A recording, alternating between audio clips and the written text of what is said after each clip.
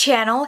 So today I'm going to be doing a review on the Tale as Old as Time palette from Hot Topic.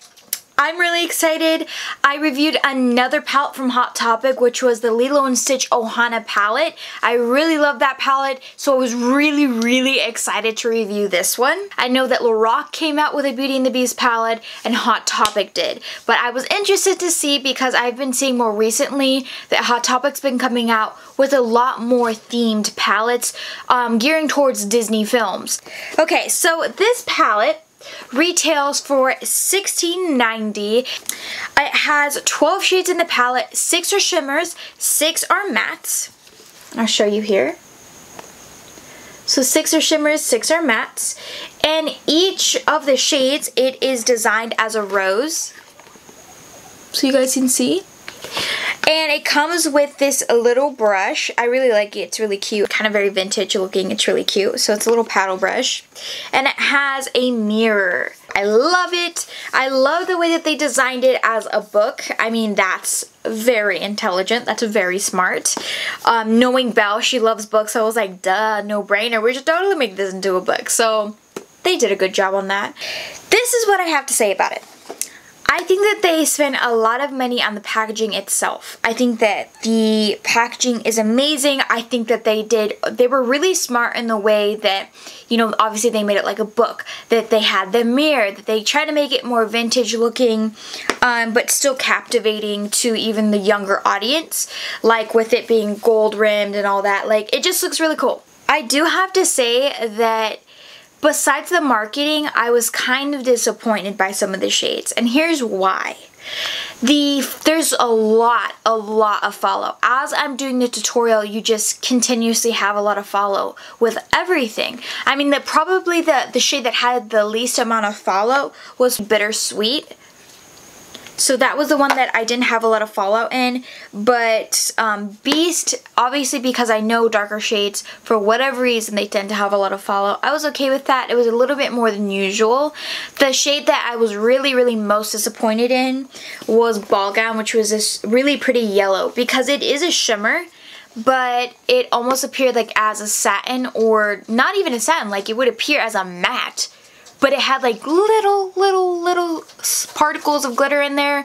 Um, and I didn't really like that. You know, I really, really, really disliked the fact that one, every time I went to put it on, it's like it was kind of buildable, but then you kept putting it on layers and layers and layers. And then at one point it just stopped being buildable. Um, I'm not impressed by the palette pretty much at all. And, and that's really sad to say because I was so impressively Lilo and Stitch's palette. And I was like, oh man, that's that's really a bummer because I really, really, really wanted to like it. I used my Urban Decay Primer Potion and it works with anything. I mean, everything looks beautiful when I place it on if it's a right eyeshadow. You know that you don't really have a very reliable eyeshadow when you have primer and it's still coming off. And I mean, it's not a shimmer, it's not glitter for me to put an adhesive on it or to put some sort of tacky primer. It's a regular powdered eyeshadow. So it's so strange that as I have it, I feel like I'm packing and packing and packing and packing. And all I'm doing is I was placing the yellow in the middle and it just kept falling off. And I was like, oh my god, why isn't this working? Just to get a little bit of shimmer, I had to spray it with my setting spray, which is the Urban Decay All Nighter. That works with everything. It works amazing. Immediately, when I placed it with the yellow, it worked so much better, but it was still, it started to get really hard to blend. It was so much fallout to the point it was falling in my own eyes, where I was like, oh my god, okay, this kind of burns. Um, and then the when I put the shimmer, it's like it wasn't really blending well. So I had to just keep packing on the same area. I couldn't try and blend it out a little bit more or pat it and blend it. It just was not working. Pros about it is that Obviously the packaging is amazing, the price of it is amazingly reasonable. My favorite thing about the palette is the naming of it, like as in like the words. So this purple shimmer right here is called Mademoiselle. The blue one that I use is called Beast. This um, lighter blue is called Winter Frost. This brown one is called Bookworm. Of course the red one is called Rose. Um, the uh, lighter shimmer that's like a pink shimmer is called Petals. This one, as I had mentioned before, is called Ball, Ball, Ball Gown. this black one is called Wolves. Um, this tannish one is called Bittersweet. This, um, it's kind of like a, it looks almost like a chrome, like it's like a, like a chrome metallic, um, purple brown. Like I know that's a really weird explanation. And then we have Lasso or Learn to Love, which is like this dark purple. And then, which is a shimmer. And then we have Enchantress, which is really pretty light blue. and I absolutely love that. So the names are like really smart because I know sometimes I'll like go into palette like the Lorac palette. I was really disappointed. Um, when I looked inside, they didn't have any of the, you know, they didn't even have a yellow. Why wouldn't you have a yellow? I mean, come on, Belle's dress. You wouldn't have a yellow. And sometimes their names can be kind of weird.